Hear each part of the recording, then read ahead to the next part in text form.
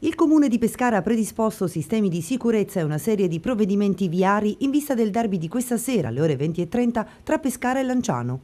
Già dalla giornata di ieri è scattato il protocollo di sicurezza della prefettura con le recinzioni sul lato sud dello stadio Adriatico Cornacchia a ridosso del campo sportivo in maniera da blindare la corsia di marcia nel tratto compreso tra via Marconi e via Davalos. Sono una cinquantina gli agenti di polizia municipale chiamati a gestire il controllo dei varchi e il presidio delle transenne intorno all'area esterna. In servizio anche agenti di polizia, carabinieri e guardia di finanza.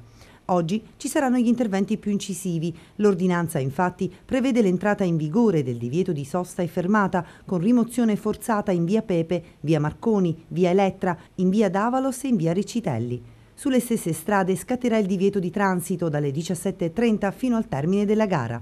Il derby Pescara-Lanciano non sarà una partita da codice rosso, ma la rivalità tra le due tifoserie ha imposto al Comune a predisporre questi provvedimenti già sperimentati in occasione dell'ultimo campionato.